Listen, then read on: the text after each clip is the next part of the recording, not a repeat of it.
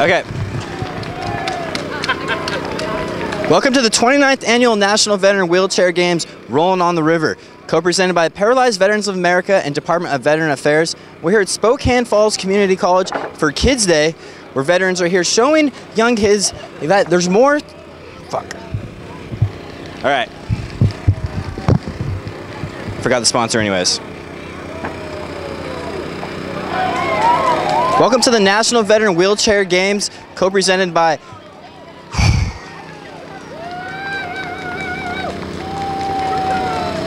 Welcome to the 29th Annual National Veteran Wheelchair Games Rolling on the River, co-presented by the Paralyzed Veterans of America and Department of Veteran Affairs. I'm Ben Pearson here with Xable.com, and we're here at Spokane Falls Community College for the Kids Day event, where some of these disabled veterans are showing some of our younger disabled athletes that sports is still an option. We'll, coming up, we'll have T-ball, slalom, as well as basketball. Festivities are just now getting underway. T-ball is going on behind me. I'd like to thank our sponsors for this event, HP. And coming up next, we'll have interviews with some of these mentor veterans as well as some of the kids. Stay tuned. You're watching Xable.com.